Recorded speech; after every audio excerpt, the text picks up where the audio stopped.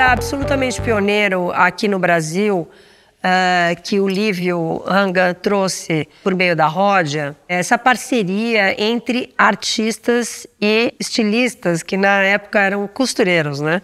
Isso já nasce né, com essa intenção de ter esse diálogo, de ser uma, uma criação feita entre eles. Né? Então a gente viu isso, essa tendência no mundo só cresceu. E aí o, o Adriano, Adriano Pedrosa, o diretor é, do, do museu, me convidou para a primeira apresentação dos 79 looks que o professor Bardi escolheu da, da Roja, que formava a coleção que nunca tinha sido apresentada, embora o, o museu tivesse adquirido aquelas peças em 72. E o curioso é que o, no processo é, os artistas eles não tinham contato com os estilistas nem com as confecções. O Lívio é que determinava é, que estilista que produziria, faria aquele modelo, né? Então não é que é, tinha troca entre eles, né? Era o Lívio maestrando aquela operação. O mundo né, absorveu essa, essa tendência mas ela despontou aqui no Brasil ali, né, nos anos 60. Depois da gente ter trabalhado com esse material muito rico, mas já pronto, o Adriano quis aumentar o acervo de moda do museu com Uh, repetindo esse mesmo modelo, né, uh, criando duplas de estilistas com uh, artistas, com a parceria da Renner, o que também remete à Ródia, né? Uh, essa parceria de alguém assim, no caso não é exatamente a mesma coisa, mas o conceito é o mesmo, né? Então, obviamente, uh, um é indústria química, o outro é de uh, varejo, mas é, é uma coisa semelhante de ter um patrocínio aí da moda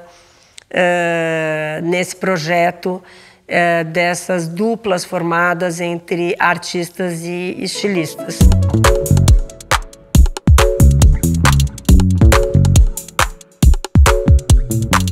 As coisas nunca são finais para nós, né? As coisas são sempre expansivas, digamos assim. Tudo é, tem a possibilidade de ser expandido. Cada nova encarnação da imagem leva esse trabalho para contextos diferentes. Então, para mim, essa transformação para roupa é uma outra transformação possível. E a gente não tem é, receio do, do, trabalho um sobrepor o outro. Quando a gente entra em algum campo de manifestação criativa, a gente vai para um lugar muito solto, sem um compromisso assim de, de sanidade, né? Assim, por assim dizer elas têm uma preocupação com uma coisa escultural que me interessa, que a minha ideia já era transformar pinturas nossas em roupa. Então a gente começou a pensar qual que seria o tecido que ia dar isso, né, que ia dar esse 3D, que ia transmitir pra gente. E elas fizeram uma tradução maravilhosa das padronagens diferentes, né, que tem várias padronagens, né, inclusive uma releitura da calçada de São Paulo, né, do, com o estado, shape do estado de São Paulo. E a gente olhou bem o quadro e já foi desenhando assim, ah, aqui é a cabeça, aqui é a perna, aqui é o braço, daqui que sai, assim, também tem até um dos quadros que a gente virou de ponta cabeça, porque a gente começou a enxergar uma pessoa ali. Elas realçaram, na verdade, a existência desses corpos nessas pinturas abstratas, né?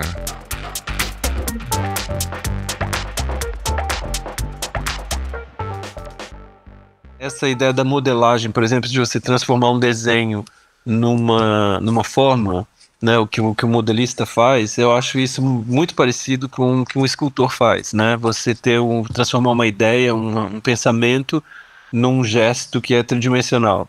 E isso, quem faz moda, de alguma forma está lidando com essa mesma questão. Eu desenhei lá a roupa, na hora eu desenhei o vestido, o trench coat, uma camiseta de franja com a saia, que é uma saia básica, reta, que quando ela abre, ela tem uma desconstrução. Fica uma mini saia com uma saia caída do lado. Ele usa materiais inusitados, como um tecido de cadeira de praia, um barbante, que na verdade é barbante isso, né? Vem do mop, mas é barbante. A gente se apropriou de um material que é usado tipicamente para uma outra função, e transformou isso numa roupa, você não, não só traz essa transformação do material, mas você traz um uso cultural desse material.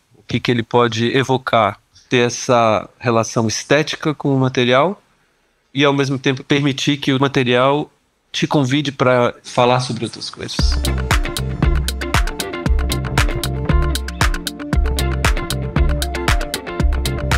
Ele me apresentou alguns uh, desenhos à mão de algumas tramas. Qualquer tipo de trama me ajuda a organizar o caos. Eu trabalhei sempre com padronagem, né?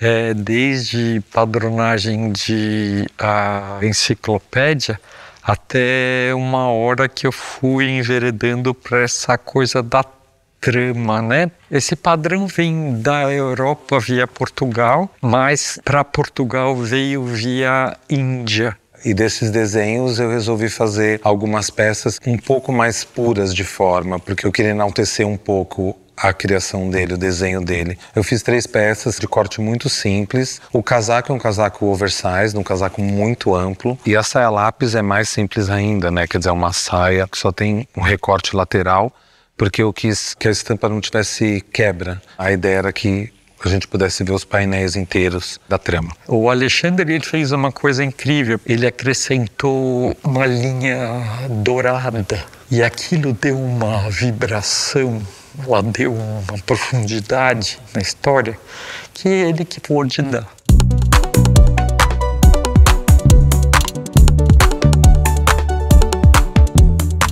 E nós percebemos que ali tinha uma coisa é, próxima que é o tecer, né? A linha, o desenho. Né? O Lucas trabalha muito com essa técnica do tricô. E o meu desenho, ele, de alguma maneira, ele tá ligado também à, à questão da trama, ao bordado, à, à, à teia que vai se desdobrando pelo espaço, né? A obra dela tem muito a ver com o acaso e tem muito a ver com o processo mais do que com o resultado final. Ele chamou atenção para esse movimento aqui, que é o movimento da água, né, de expansão.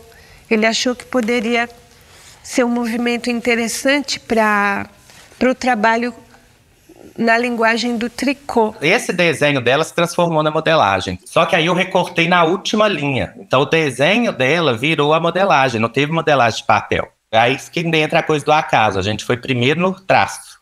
E ele que ia virar tudo.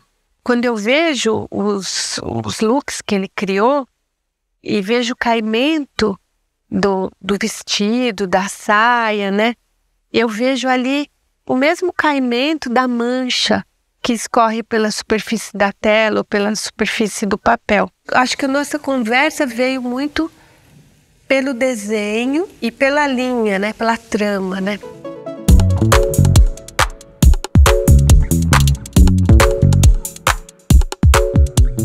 Tem tempos que eu tenho dito que a moda está enlouquecida para se libertar da roupa.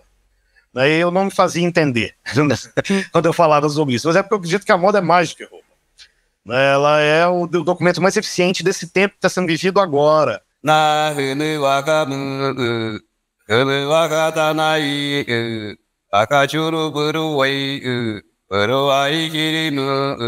Essa roupa são música. Todo se desenha. O meu trabalho é só música. Mas se desenha sentido, esse desenho é significado. Eu procurei trazer elementos que, para mim, são muito fortes na obra dele. Aquilo quando eu fecho o olho e é a história que se repete. Tem a presença da jiboia, você tem a presença das folhas, você tem a presença da semente, do vento. A língua está acabando, a língua sumindo, por quê? A língua some, os conhecedores mais velhos, quando, como nós temos hoje, com pandemia, várias pandemias, chegando, carregando esses velhos e as velhas conhecedores, fica, fica difícil para a gente. Essa linguagem melhor do que falar, eu vou desenhar o que a música fala para falar com o pessoal. Desenhei das cada palavra, o que palavra fala, ou se não é melhor entender o que eu estou dizendo das músicas sagradas. Uma música sagrada, né? Ficou nessa roupa. Eu escolhi a base de algodão, de 100% algodão, num trabalho de um bordado de Richelieu, feito numa comunidade atingida pelo crime de Mariana, foi totalmente coberta pela terra e elas se reinventaram a partir do bordado.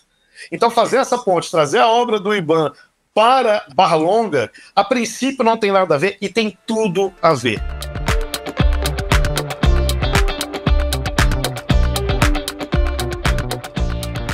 Acho que a moda até olha muito para o futuro e para o presente como um, um, uma numa dimensão assim de, de ser um, representar, né, o contemporâneo. E eu olho mais assim para o que ficou, o que, o que se eternizou, o que é o que é insuperável. Tem horror de coisa nova, de roupa nova, cara de novo. Então, quanto mais vida tiver numa, numa, numa coisa, melhor. E, e, e dar uma nova vida, isso, isso é, é brincar de Deus. Todo o material que eu coloco no meu trabalho, ele já existe no mundo, ele já tem alguma superfície, ele não vem da loja de tinta. Quando a gente começou a trocar ideias, a coisa orgânica foi em torno dessas monotipias, né? A gente tem é muito incomum na, na, na, nas fontes de pesquisa nesse interesse por transferência de texturas e tal. Dei para ele tecidos e ensinei como trabalhar com tecido com, com permanganato, umas coisas que envelhecem. Daí eu fiz algumas é, monotipias dessas com prego, ferro. E ela usou diretamente essas sedas nesse trabalho. A mensagem desse braille, é, é, é, essa, a palavra é toque-me. Eu não sei mais a ordem, se é toque-me ou me toca.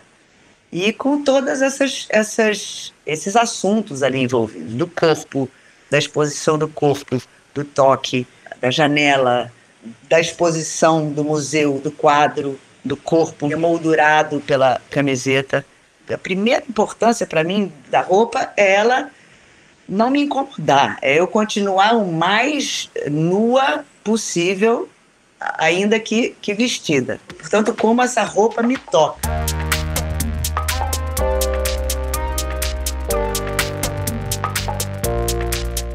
A roupa é uma arquitetura. É, é, é uma arquitetura e é a, é a primeira, né? É a, primeiro, a primeira casa depois do corpo, do próprio corpo, né? Eu usei elementos assim que eu trabalho muito, né? Que é transparência, as próprias cores, né? O preto e o branco. É como se fosse uma espécie de radiografia da roupa que não esconde nada, no sentido de, não estou dizendo do corpo, mas em relação à própria roupa.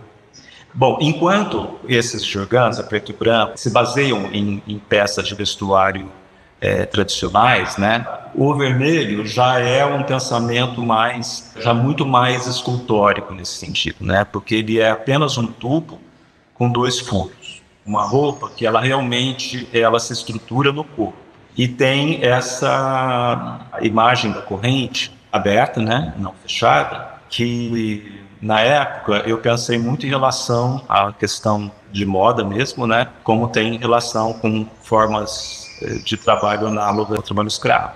O alambrado, os prédios são coisas, são elementos duros, né, simbolicamente, claro. E eu acho que fazendo contraponto a essa leveza essa coisa um pouco glamurosa tal, mas com uma lembrança de coisas não muito agradáveis.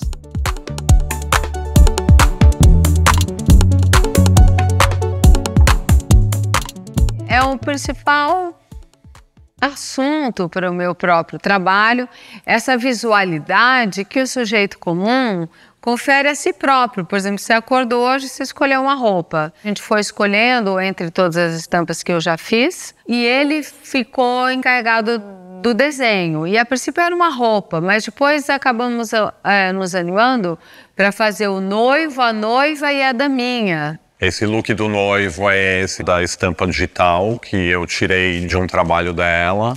É um look de alfaiataria, como se fosse um fraque de noivo mesmo, só que com uma pegada mais street. A roupa do noivo é toda feita com motos, que assim tem uma coisa, uma sugestão de masculinidade na moto. E o vestido da noiva é um vestido cintura quase império, com as mangas bufantes e a saia cortada em godê.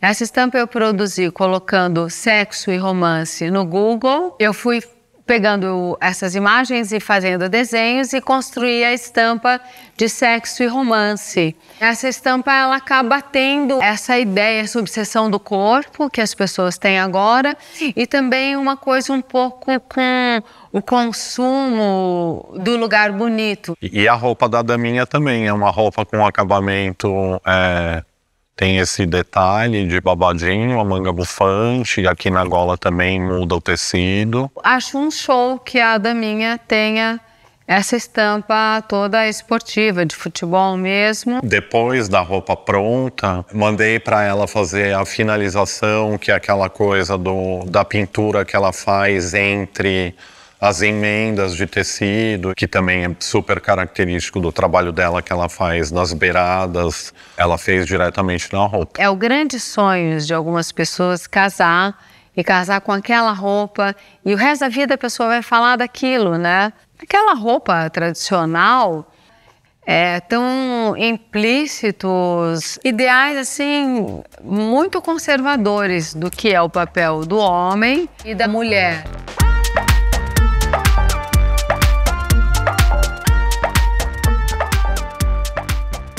Minha intenção inicialmente era o quê?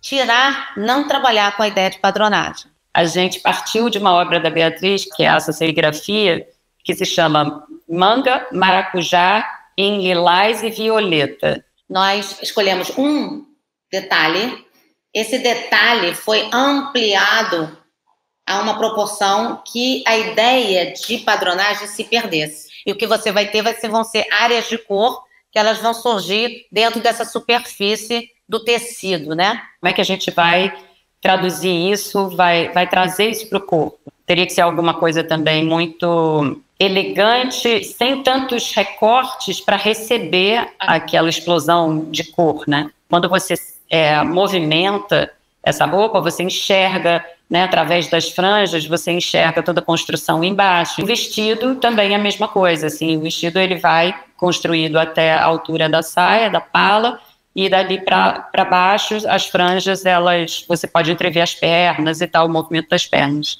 As franjas, elas, elas trouxeram esse movimento para alguma coisa que inicialmente era um desenho mais rígido, né? Esse foi um ponto realmente que a Andréia até me sugeriu, já que vamos lidar com o corpo, né? Na hora dela sugerir né, as situações como essa franja, por exemplo, essa ideia é, foi a partir da observação dela em relação a, às minhas esculturas móveis. O uso ele é fundamental quando você vai desenvolver, não importa se é um móvel, se é um ambiente de decoração, se é uma roupa, né, se é um carro, ele vai ter é, é, uma questão que é a utilização disso. Ele tem, que, ele tem essa finalidade né?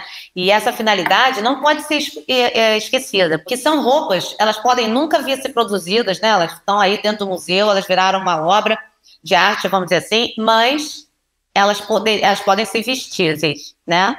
O, o corpo pode recebê-las. Eu acho que isso é, é, é, quase uma experiência entre dois é, territórios de criação, mais do que um, um, um objeto do universo da moda. É uma experiência entre dois, dois criadores. Não é porque está no museu que não é um trabalho que eu não é porque eu, que eu fiz para o museu que eu fiz com mais vontade ou caprichei mais, entendeu? Mas eu acho o, o local, a, a, roupa no museu, um local totalmente natural, uma continuação. Acho que é importante que o museu possa hum, sempre chamar o olhar do, do observador, do visitante, para para abrir a cabeça das pessoas, que é para isso que eu acho que a arte serve, né? Para isso que estamos aqui. É a arte, tem um pensamento, tem um conceito, tem um trabalho, tem uma pesquisa.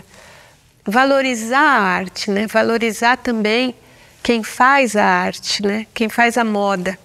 É, não só o designer, o estilista, mas a costureira, né, o, o alfaiate, o arte, a pessoa que trabalha com a, as estampas, né, quer dizer, quando você coloca uma, uma peça de, moda no museu, você está valorizando todos esses saberes, né? O museu está ligado nisso, assim, não, o museu não pode fechar os olhos para a moda, né? O museu ele é vivo e ele é atento a tudo que acontece, né? Principalmente aqui, né, na Paulista, assim, aqui onde a gente está, que é um, né, tão pulsante, assim, né? Você entende uma época a partir desse tipo de desenvolvimento, né? É, tem a ver com comportamento, tem a ver com um monte de coisa. Eu acho que é, é uma discussão mais ampla do que considerar que moda é arte e tal. Eu acho que isso daí não é o caso. Acho que moda é moda, arte é arte. Mas acontece que eles juntos, né, são transformadores e é uma maneira da, da, de ficar aí um registro importante é, de como cada época pensa age, uh, né? É um conjunto de significados que estão por trás disso. E é importante esse resgate para nossa memória.